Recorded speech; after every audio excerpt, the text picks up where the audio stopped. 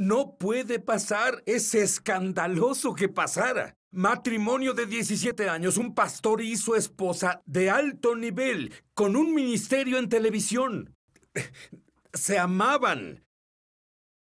Pero la esposa tuvo una aventura, una aventura secreta. Y de esta tragedia lograron conseguir claves sobrenaturales, no solo de tener un matrimonio, sino de poseer uno hecho en el cielo, no solo de tener una familia, sino de tener una familia hecha en el cielo. Y la Biblia dice que el creyente es el que provoca celos en el judío. Ustedes provocarán celos cuando tengan un matrimonio que Dios ha puesto junto y Dios lo ha hecho sobrenatural.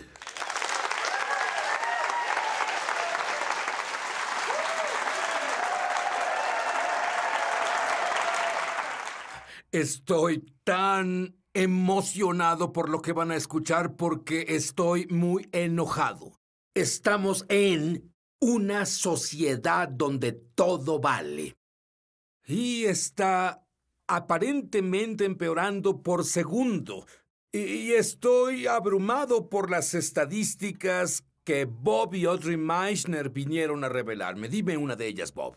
Es sorpresivo. Solíamos vivir en una sociedad de moralidad absoluta. Esas cosas ahora desaparecieron, donde los hombres de más de 40 tendrán una aventura sexual de un 50-65% los hombres y para mujeres es de un 45 a 50% de mujeres de más de 40 que tendrán una aventura sexual. Más del 25% de las búsquedas en el Internet tienen que ver con búsquedas sexuales. Pornografía y Pornografía cosas presentada así. También para los esposos y esposas, un esposo no sabe, el 70% no sabrá si su esposa está involucrada en una aventura sexual o no saben de su actividad sexual y como un 50% de las mujeres no saben qué pasa dentro de ellos en lo que a una aventura se refiere. Con razón, los matrimonios tienen problemas. Alrededor de todo el mundo. Con razón, ay, eh, eh, esto es en realidad una estrategia en tu contra, pero voy a decirte algo, no es un accidente que estés viendo. Y Dios está listo para moverse sobrenaturalmente en tu vida. Audrey no debió pasar, Nunca te pasó a ti, de acuerdo. Tú amas a tu esposo, ah, ah, ah, tienes tres hijos, estás ocupada, ocupada, ocupada, y luego esa es una de las claves. Estás Amo a mi ocupada. esposo, amo a mis hijos y amo a Jesús. Y conozco a Jesús desde que era niña. Estuve en un ministerio tiempo completo toda la vida y todo lo que queríamos era cambiar al mundo. Y cuando cumplimos 17 años en el matrimonio, un tipo, un joven comenzó a ir a nuestra iglesia y él solo comenzó a ponerme atención y a coquetear conmigo y pensé, "Ah, necesito conseguirte una novia. Pero algo en mi corazón sentía un vacío y algo me invitó.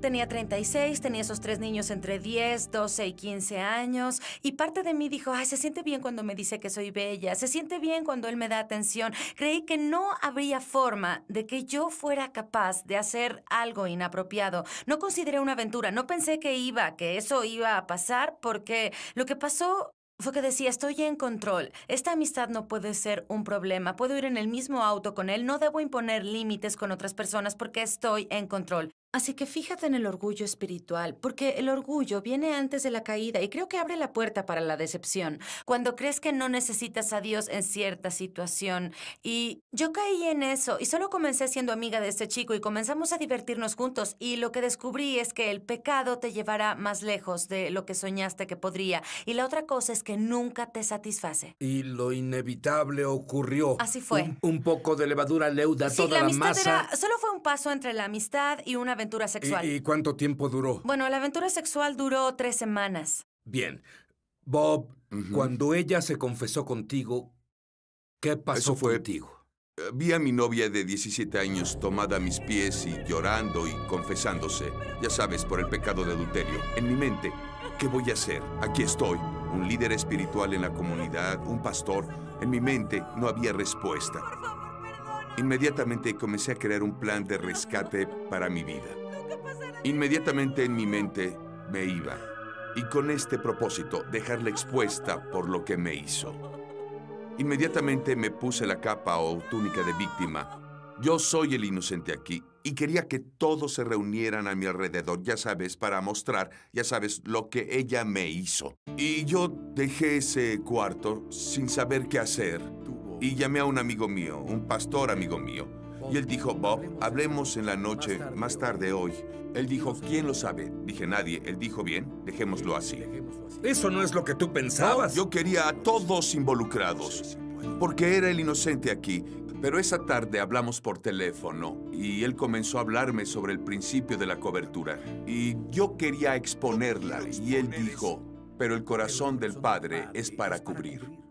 El cubrir tiene dos principios fundamentales. Proverbios 25.2 dice, Gloria de Dios es encubrir un asunto, pero honra del rey es entenderla.